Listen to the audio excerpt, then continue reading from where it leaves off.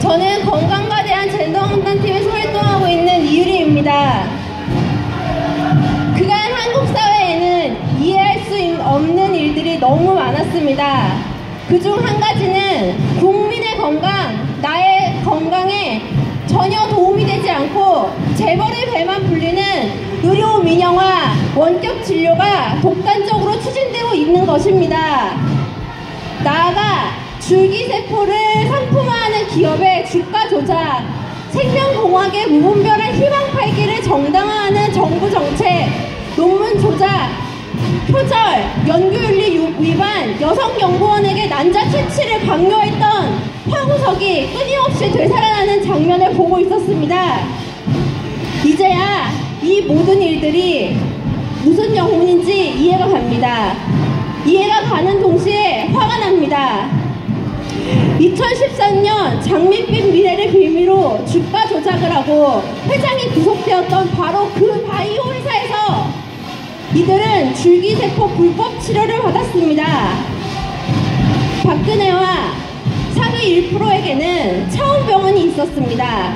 그 차원병원에서 그들은 피부를 가꾸고 스파를 즐기고 불로 장생을 꿈꾸었습니다. 나머지 99%의 시민들이 헬조선에서 젊은이들이 죽어나가고 노인들이 병원에 가지 못해도 그들은 상관이 없었습니다. 차원병원과 박근혜 의료 게이트에서 우리가 싸워야 할 것은 망을주사, 태반주사가 아니라 박근혜와 1%의 의료 민영화 정책입니다. 박근혜 정권이 저지른 그리고 지금도 추진하고 있는 모든 의료 민영화 정책을 폐기시켜야 합니다. 박근혜 대통령의 퇴진은 사회 곳곳에 침투한 독단적이고 파국적인 정책 들과 구조를 바꾸어내는 시작입니다. 대통령의 변호를 맡은 유영하 변호사는 대통령의 여성으로서 사생활을 존중해달라고 말했습니다. 마치 항노화를 위한 주사제와 의약품, 불법 제출, 밝혀지지 않는 세월호 7시간까지 감히 여성의, 여성의 사생활이라는 이름으로 포장하고 있습니다. 항노화와 미용시술이 여성의 사생활이고 여성의 자연스러운 욕망인 것처럼 포장하는 것은 기만적이고 모욕적이고 치사한 전략입니다. 실상 여성의 권리를 위해 한 것도 없는 박근혜가 여성의 이름을 사용하여 위험을 회피하고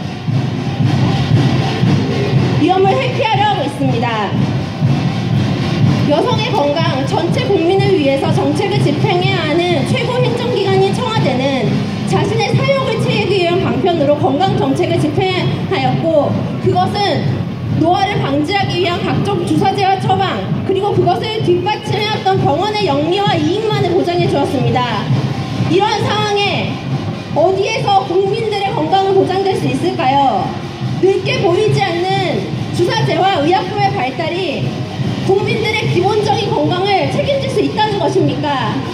건강하게 늙을 권리는커녕 건강하게 살아갈 권리마저 배제된 대다수 국민들의 건강을 이제 더 이상 자본과 부패의 권력, 권력의 손안에 둘 수 없습니다. 국민의 건강을 보장하지 않는 국가가 어떻게 국가일 수 있습니까? 우리에게는 나의 몸을 돌보고 적절한 지원을 받고 전문가로부터 조언과 치료를 받을 권리가 있습니다. 우리에게는 즐거운 성생활을 누릴 권리와 어떤 상황에서건 나의 재생산 건강을 지키고 피임하고 낙태할 수 있는 권리가 있습니다. 88정과 비약을 하는 청와대에서 보장해준다는데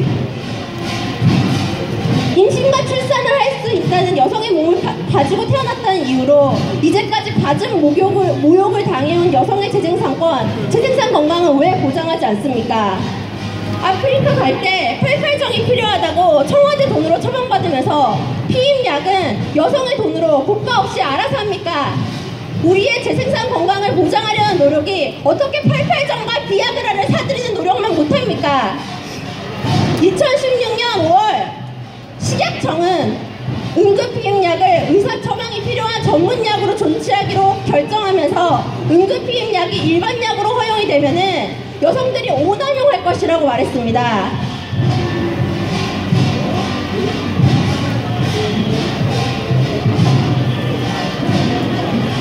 그 와중에도 청와대에서는 각종 주사제와 발기부전 치료제가 끝도 없이 오남용되고 있었습니다. 심지어 판매 및 시술을 금지하고 있는 법적으로 금지하고 있는 줄기세포까지 사용하고 있었습니다. 식약청이 우려해야 되는 것은 여성의 오남용일까요? 아니면 돈과 권력 뒤에 숨어 있는 불로장생들의 헛꿈, 헛꿈들일까요? 박근혜와 차병원의 의료 게이트에서 우리가 깨닫고 나아가, 나아가야 하는 지점은 정상과 비정상, 젊음과 늙음, 아름다움과 아름답지 않음에 이분법적 고리에 저항하고 진정한 나의 건강, 우리의 건강, 공동체의 건강, 건강이라는 기준으로 누군가를 차별하지 않겠다는 결심